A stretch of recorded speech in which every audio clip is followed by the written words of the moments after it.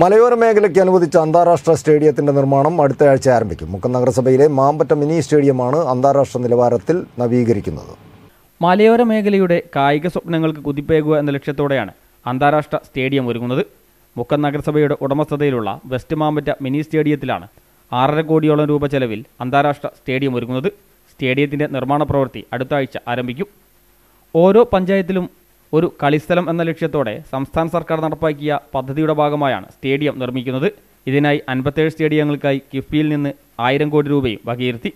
രണ്ടര ഏക്കറോളം വരുന്ന മാമ്പറ്റ മൈതാനത്ത് ടർഫ് ഫുട്ബോൾ മൈതാനം ഇരുന്നൂറ് മീറ്റർ സിന്തറ്റിക് ട്രാക്ക് ആധുനിക ജിംനേഷ്യം ജമ്പിംഗ് ഫിറ്റുകൾ ഗാലറി എന്നിവയാണ് നിർമ്മിക്കുക.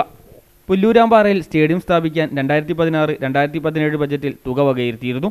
എന്നാൽ സ്ഥലലഭ്യത ഇല്ലാത്തതിനാൽ തിരുവമ്പാടിയിലേക്ക് മാറ്റി. മഴക്കാലത്ത് തിരുവമ്പാടി സ്റ്റേഡിയം വെള്ളത്തിലാകുമെന്ന സ്ഥിതി വന്നപ്പോഴാണ് മാമ്പറ്റയിലേക്ക് മാറ്റിയത്. മലയോര മേഖലയിൽ തുടർച്ചയായി ഉണ്ടാകുന്ന വെള്ളപ്പൊക്കവും പ്രകൃതിക്ഷോഭവും സിന്തറ്റിക് ട്രാക്കും പുൽമൈതാനവും അടങ്ങുന്ന സ്റ്റേഡിയത്തിന്റെ നിലനിൽപ്പിന് പ്രതികൂലമാകുമെന്ന വിലയിരുത്തിന്റെ പശ്ചാത്തലത്തിലായിരുന്നു തീരുമാനം മാറ്റിയത്. കോഴിക്കോട് പട്ടണത്തിന് പുറമെ ആദ്യത്തെ സിന്തറ്റിക് ട്രാക്കാണ് മാമ്പറ്റയിൽ ഒരുങ്ങുന്നത്.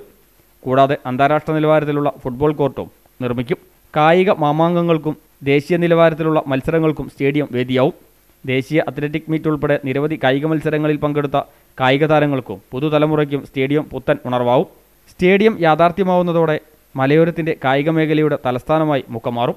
ഒട്ടേറെ ദേശീയ അന്തർദേശീയ കായിക താരങ്ങൾ മലയോര മേഖലയിൽ നിന്ന് ഉയർന്നു വന്നെങ്കിലും നിലവാരമുള്ള പരിശീലനം നൽകാൻ കഴിയാതിരുന്നത് വലിയ പോരായ്മയായിരുന്നു.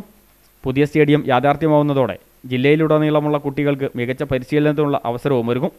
നിർമ്മാണം പൂർത്തിയാവുന്നതോടെ ദേശീയ സംസ്ഥാന മത്സരങ്ങൾക്കും മൈതാനം വേദിയാവും. നഗരസഭയ്ക്ക് തന്നെയായിരിക്കും സ്റ്റേഡിയത്തിന്റെ ഉടമസ്ഥാവകാശം.